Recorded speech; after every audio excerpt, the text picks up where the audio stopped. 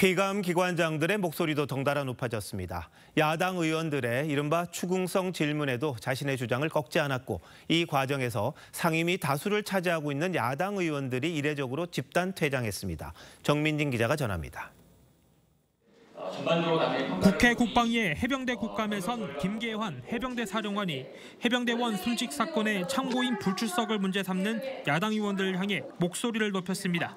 자신은 비난해도 좋지만 해병대 전체로 확대하지 말라는 겁니다. 보이지 않는 곳에서 묵묵히 임무를 수행하고 있는 해병대 전 구성원이 마치 그런 것처럼 이렇게 표현을 하시는 것은 타당하지 않다고 생각. 어디다 대고 그냥 과장되는 왜곡을 하는 거야. 군을 선동하는 겁니까? 사령관이?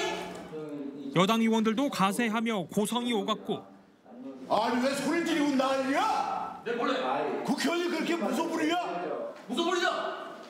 야당 의원들은 김 사령관에 대한 퇴장 요청이 받아들여지지 않자 자신들이 자리를 떴습니다. 법사위 국감은 전날 국감에서 송경호 부산고검장이 정치 중립 의무를 어겼다는 야당 의원 지적으로 시작됐습니다.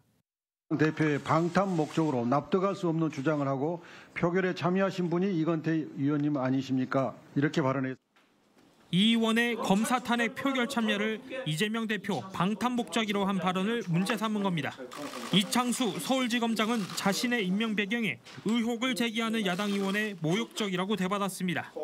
중앙지검장 가놓고도 은혜를 안 받았다고 얘기합니까? 아, 그건 저한테는 상당히 모욕적인 질문이십니다. 법사위 국감은 오늘 하루 총 3차례 파행했습니다. TV조선 정민진입니다.